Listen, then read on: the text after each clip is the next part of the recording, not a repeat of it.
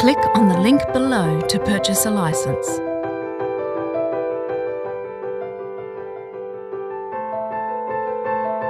Click on the link below to purchase a license.